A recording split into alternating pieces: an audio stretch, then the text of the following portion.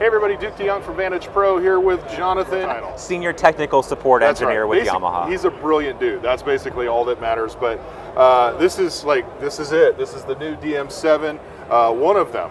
So, I mean, talk to us about the family because there is a family. Absolutely. DM7 is a series. We're super excited for this new release. We've got two consoles in the line, a DM7 and a DM7 Compact.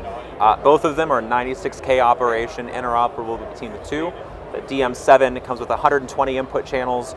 DM7 Compact is a 72 input channel console. Both of them have the same output structure, 48 mixes, 12 matrices, and 24 DCAs plus two stereo buses. Both of these consoles, again, 96K operation. They both ship with a built-in 144 by 144 96K Dante card built in. In addition, we have a new PY card slot, 64 by 64 at 96K. Brings us way up from maybe an MY 16 by 16 Yeah. at 48. This option, uh, we currently have three cards that we're ready with. We have a MADI 64 by 64 96K dual link with SRC. We also have an AES card as well as a MIDI GPI card, five pin MIDI operation, additional GPI contacts. Both of them uh, have local I/O. The DM7 has 32 inputs and 16 outputs. The DM7 Compact has 16 inputs, 16 outputs on the back. Um, AES I/O on both of them. The DM7 has a 4x4 AES I/O. The DM7 Compact has a 0x2 AES output. So we're standing in front of a compact right now. That's correct. But there's also this lovely sidecar that's attached to it. Talk to us about that a little bit. Yeah, sure is. We're really excited about this as well, new for Yamaha. This is the CTL, the control module that we've got. It's a new piece. It is control only. It is a standard Ethernet Cat5 connection and an IEC for power. Uh, it, it offers the ability to expand your user-defined keys, user-defined encoders, as well as two user-defined faders, a jog wheel. We're bringing the jog wheel back. It's cool again, maybe from PM1D, PM5D days, right? This guy is really powerful, really easy to use, and assignable for multiple features based on what you're looking at. Um, it can be on either side of either version of the DM7 series, and it can live on its own as well. So if you want this at front of house, maybe you have some user-defined keys, but you don't want to have Dante audio at front of house. Yeah. Wherever you want this to be, you can drop this in. It's a standard Ethernet connection. There's a two-port switch on the back as well, so you can connect the DM7 to the control module, to your laptop running editor, and it's all over hardwired Ethernet single cable. Yeah, I think the fact that it's all super modular really makes it uh, really kind of powerful for a lot of different applications. Absolutely. Uh, certainly uh, front of house uh, in, in any kind of performance venue, church, whatnot. Um, but the fact that you can actually just drop this control module just separately anywhere, it, it kind of gets out of the box a little bit. Yeah, it does. Um, and we offer four SKUs out of the box. So uh, we have the DM7, the DM7 Compact, the DM7 EX, which includes the control module and two pieces of really cool software we'll get into in a minute, Okay. as well as the DM7 CEX, which is the same version, just the Compact. Okay. Before we get into features of the console, talk to us about the software because you guys have been doing some really cool stuff there. Yeah, we're really excited about theater and broadcast software options for DM7 series. They're optional. You can package them. The EX includes that software. You can purchase them separately, and those licenses are portable using ProVisionaire Cloud. So you can move that license between desks and be able to rotate things around if you need to for whatever use case you might have. The theater software is uh, pa- uh, packed with features. We've got uh, actor library, which is a great way to have presets for different actors, different inputs, different people that is recallable uh, on a global level, as well as DCA Grid, which is new for us. It's the ability to program DCA scenes for maybe line mixing in a theater application really quickly. You're able to actually track an actor through multiple uh, scenes using the same DCA. If you've got one DCA 10 times on a scenes, you can actually track through, and that means you can update faster as well. If Right. you need to replace an actor, add somebody to a DCA, really easy to do so quickly. The broadcast software includes 5.1 surround and a future release, as well as LUFS metering for um, broadcast applications, true loudness metering, multiple types, so you can have the BBC type as standard, Right. um, and different sensitivities as well, so you can make sure it's uh, application specific and correct for what you're doing. And the broadcast software, uh, to me, actually has a lot more application outside of even, or sorry, the theater uh, software, because you, you know you say actor, and actor means specific thing to broad, to theater. Yeah. But in a performance venue, in a church in particular, we have a lot of actors on stage, right? We have electric guitarists, we have bass guitarists, and especially if we've got volunteer musicians every week, like each of your actors might actually just be a different musician playing the same instrument. Absolutely, or maybe the same person playing different instruments, right? So you've got the ability to replace a guitar if they're they brought their Strat today, that's fine. Gibson tomorrow, not a problem. You can recall all those presets, and you've got predefined EQ, compression, all those things can be recalled very easily. Um, you also maybe have six singers downstage that could be different every week, right? right. Rotating lead choir, you can just replace people in. You've got all the presets for all of your different potential singers. You can just drop them in on a day-by-day basis. And these these presets aren't just a uh, like I've saved their EQ in a library. Like it's a full the full processing can be captured, that's correct. Uh, the gain stays separate just because we want to make sure you've got the individual control of gain, but yeah, you're able to recall everything else. And speaking of gain, we've got the ability to have two inputs simultaneously available to the strip. There's an A and a B input now, so you can have a backup microphone potentially for a podium.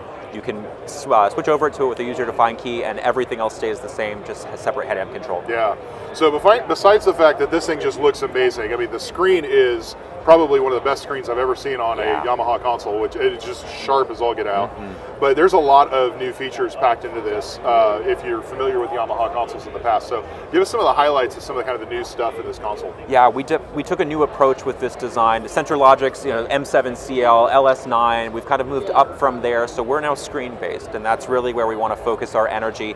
The screen, nice, beautiful glass touchscreen, multi-touch as well. Um, the encoders now live below the screen. There's one row of encoders per fader bank per bay. We're able to map these encoders to do anything on screen as well as some fixed applications. When you're in a one channel view of the desk, you're able to look at what you're seeing and touch what you want to control. If you're looking at the EQ, you want to affect the EQ, you touch the EQ section, and you might notice that these LEDs are going to change based on what you're doing. So these colors are moving around. That means that these encoders are mapping to whatever processing you're actually working with. So for example, when we have the EQ selected, you might see red, orange, yellow, green matches the four band parametric EQ up at the top.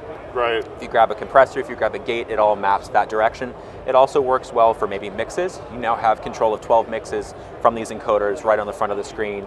You also have something called encoder mode, which allows you to basically park the encoders to do one specific thing. Maybe that's a head amp, maybe that's a, a pan. You're able to map five different controls and be able to then grab that. It's always available right at your fingertips. You don't have to go find it on the screen.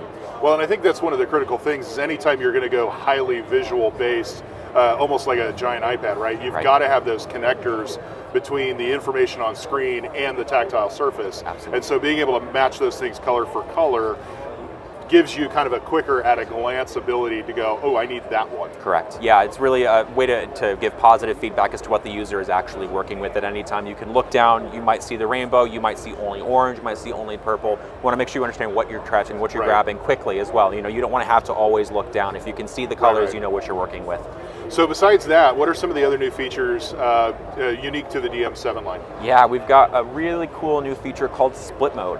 Uh, both the DM7 and the DM7 Compact can be essentially split into two consoles simultaneously, one piece of hardware. So the DM7, again, 120 input channels. When you go into split mode, it makes two 60 channel consoles. Okay. You share the output structure, uh, 12 channel resolution of mixes. You can have 12 and 36, 24 and 24, whatever combination you might need. The matrices and DCAs get split between the two engines, and the two stereo buses become one and one. But you're able to have two separate instances of the DM7 software inside of the console running simultaneously, and you're able to switch between the A and the B engine from the screen. You can have on a DM7 both screens looking at one engine, or simultaneously having both available.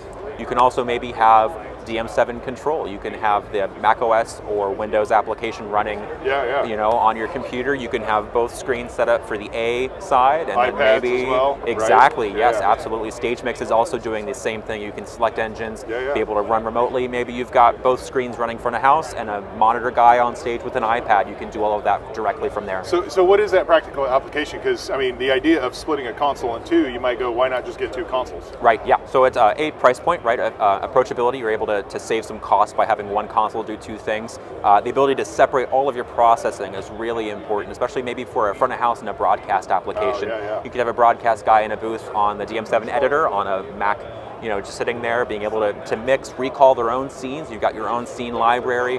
All the processing is discrete. The only thing you share is potentially head amps if you have them patched in both sides, and that's where gain compensation comes in. We're able to digitally trim, not impacting the Yeah. other. Yeah. Yeah. I, I'm afraid to ask. What else? I mean, so We've cool. taken a couple of features down from Rivage. This really wants to sit between the CLQL and the Rivage. First of all, the 96K operation, Yeah, yeah. right? That uh, in- improved sonic performance really makes a difference. We've got refreshed preamps in the back of this. This is the console for Rio. Um, Rio D1 and D2 are fully compatible with the DM7 series. Okay. With current firmware, both of them will run at 96K. Okay. You don't have to replace your I/O if you want to upgrade to DM7. You can slap Which it in. Amazing. Yeah, slap it in, a couple of Dante ports, 96K operation with current firmware, which is super exciting. Um, we've got premium racks, just like CLQL series, but now instead we've got 64 DSP slots available to Only the console. 64? Only 64, up from eight, less than 382. Um, now you've got the ability to patch premiums like your Porticos, like your Comp 369s. Maybe you've got a 276 that you want to add. Primary source enhancer on every lav, no problem for 32 Yeah. channels. Yeah, so we're able to bust that in. It's all utilized this direction. You can see your gas gauge up at the top. You know where you're at. You know how much room you have to expand. On top of the 64 premium slots, we've got eight Effects Legacy Yamaha plugins for any kind of effect engine that you might need, and 32 graphic EQs, all available at the same time. On top of that, your input channels have some premium dynamic plugins. For example, maybe you've got a Comp 260 and then you want to grab a diode bridge compressor as well, FET limiter, things like that available at the same time in addition to the premium plugins. Right, right. And as you mentioned earlier, I mean, why you would need more processing, one could ask. but you did mention earlier there there are still the card slots, and so if you did need to add Waves or any of those other plugins servers, that's very, totally doable. well. Absolutely. Yep. This ships standard with VST rack elements, so you're able to do external plugins over USB. You could absolutely go uh, SoundGrid with with Dante, going to Waves that direction. And because the I/O on the Dante card is higher than the I/O on the console, you've got the ability to run uh, external plugins Yeah, yeah. Uh, without stealing any of your input channels. And, and I think kind of one of the cool, really underrated screens on this is this window right here because the user-defined presets that you can program into here, like they're pretty deep. Yeah, so the utility screen is a nice sidecar for us to be always available and running its own thing, if you will. You've got all these user-defined keys, got another 48 UDKs on the utility screen, all custom assignable, really easy to program this on the main bay over here on this side as well as on the DM7 full. You've got monitoring here, an A and a B monitor bus. Um, scene list over here, you can have your scene list always up and running. You can see what's next. You can scroll through, recall, store, all those kinds of things are available at all times. Um, save load feature is on this side of the desk, just so you've got the two USB ports Right, above, right. you're looking directly at it, as well as with the broadcast software, the LUFS meter is there as well, so you're able to look at what your metering is like without stealing what your console is doing in front. We've also got something new called AI Assist. Okay, I'm listening. brand new feature. It is currently in beta. We're really excited about it. There's two different assist types. We have head amp assist and fader assist. Head amp assist is this incredible piece of technology that has the ability to intelligently sample an input and it's going to take a guess at what it is. So if you show up to a gig, don't have a console file, you just want to get going, right? Plug everything in, get it turned on, turn on HA Assist. What it's going to do is sample those inputs. It'll do its best to label it. It'll set the head amp. Then if you go to fader mode, you can have it intelligently attempt to mix those inputs together into four groups. That's terrifying. It's amazing. We want to kind of call it a third arm, right? Yeah. It's, it's the ability to have the piece of software behind the console built into the console, no internet connection needed, Oh running at the same time. Yeah, it's really impressive what So it's, it's like the able to festival do. starter. Yeah, it's, Basically. essentially, yeah. No, so that's cool, and I can see some real good application in that, like head amp control, especially. I know a lot of times when we're in churches and, and we've got volunteer audio guys, gain seems to be one of the hardest things to kind of get right. And so being able to set some parameters, hit auto gain, having it like dial in and then turning it off, Yep. it's like, oh my gosh, what a lifesaver for everybody, especially the monitors. All the monitors, like now their gains are right, their levels are good. Absolutely, yeah. We're taking this. You can kind of think of TF, where there was the gas gauge of a head amp control. This is automated. It's, it's really designed to find a target uh, voltage range for it. It wants to get everything into a sweet spot on the desk, so you've got things set for you before you even start. We'll talk more about this in other times, but like my head's already exploded. so I mean, there's just so much cool stuff in the DM7.